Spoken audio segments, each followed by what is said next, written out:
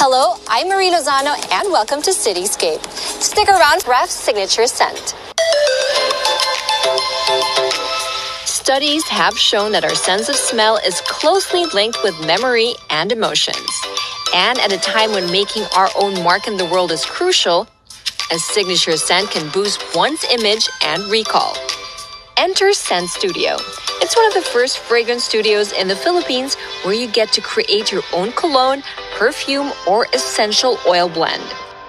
BC, the mother company of Scent Studio, has been around since the Multiply days, and with its founder Bernadette Lim growing up with a love for perfume.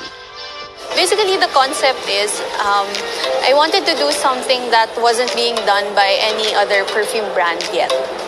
And being a supplier of fragrances and being someone who has knowledge in the technical aspect of the fragrance industry, um, I wanted to teach people. If you just see us, you can do a quick perfume making session just so you can also identify like, oh, I, I, I didn't know that I like this kind of scent pala. Parang it's more of a discovery thing. I know people who are interested in fragrances talaga, but there are some who have no idea what they like.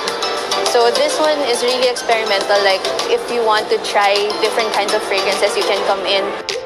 While they have ready-made broom and linen sprays, blended essential oils, soy candles, and aromatic diffusers, the fragrance bar is really the highlight of the store. Bernadette, who grew up with a love of perfume, put up the store with a dream of sharing her passion with people and to encourage them to try creating their own fragrances. She trained under a British perfumer and received certifications from Fragrance Foundation in New York. Under her guidance, the well trained staff are capable of guiding you through the steps of making your perfect scent. Whether you're one who knows what specific type of scent you prefer or someone who doesn't have a preference at all, Scent Studio will help you find your personal blend. Honestly, um, the preferences of Filipinos nowadays, I, I think medyo nagiging mas diversified na. Um, they're veering away from the designer scents. They're starting to look at niche fragrances. When I say when I say niche fragrances, the brands that are small scale, artisan, small batch, um, more creative. I'm starting to get excited with how the fragrance business will look like in the next few years. Nga, um, people are more aware now of their preferences in scents. They also do workshops here, sometimes even partnering with local entrepreneurs to teach those who want to learn the business or those who simply want to deepen their knowledge of fragrance. Creating your custom scent is fairly easy. Bernadette advises you to take your time and go through each category available.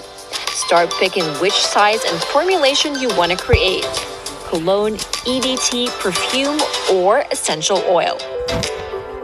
Then go through the fragrance wheel to profile your scent. Smelling different options will take a while, especially if you really want to explore uncommon combinations. But once you've settled on your top, middle, and bottom notes, they'll add the appropriate measurements and mix it in. Don't worry if you don't like the initial blend, quite a few customers adjust their blend several times before arriving at the scent they want. You have the choice of picking a carrier oil like grapeseed as base or the more common alcohol. Here at Scent Studio, they use sugarcane alcohol instead of petroleum based ones. Write down your formula in their formulation sheet, so when your perfume runs out, they'll have a file of the exact blend you used. After you've made your own perfume, let it sit for two weeks to give time for the oils to mix and mature. You can pop it in the fridge to hasten the process If you try to make fragrances DIY style, it's best if you don't use fragrances when you mix, just so you don't interfere with your nose. And so the best way to clear your nose is not through coffee beans, but to actually sniff your skin. So you can sniff your forearm, resets your nose. It's really best if you have an open mind. Kasi if you if you have parang a certain preference and you stick to that lang, you won't be as creative. But if you're open to different, um, to smelling different notes, syempre, you, you get a more wide range of notes that you can work with. Scent Studio formally opened last March 2019, and since then, they've been encouraging creative fragrance exploration. While the experience of making your own signature fragrance is amazing in itself, We believe that it is in how studios like these broaden our knowledge of the infinite scent possibilities and make the trip up north worthwhile. After the break, we're visiting a milk bar and